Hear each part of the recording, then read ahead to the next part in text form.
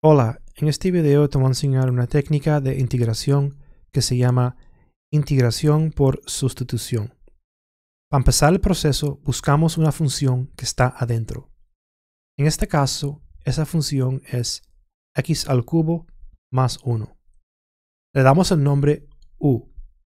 u es igual a x al cubo más 1. Esta es la función que está adentro. Entonces, sacamos el derivado de esta función. So, el derivado de u es de u. Y para sacar el derivado del lado derecho, bueno, el derivado, el derivado de 1 es 0, porque es un número. Y para sacar el derivado de x al cubo, usamos la regla de poderes. Se baja el 3. Entonces, 3 menos 1 son 2 de x. Ahora tenemos que comparar 3x al cuadrado de, x con x al cuadrado de x. te das cuenta, no hay un 3 aquí, pero aquí sí hay un 3 aquí abajo. So vamos a eliminar el 3. Lo hacemos con división. Esto se puede escribir 1 dividido por 3 de u. Son x al cuadrado de x. Lo siguiente es posiblemente lo más difícil para mucha gente. Tenemos ahora que hacer la sustitución completa en el integral. So aquí tenemos x al cuadrado de x. Eso es lo, que está aquí abajo. Pero es igual a 1 dividido por 3 multiplicado por du. So vamos a escribir eso primero. 1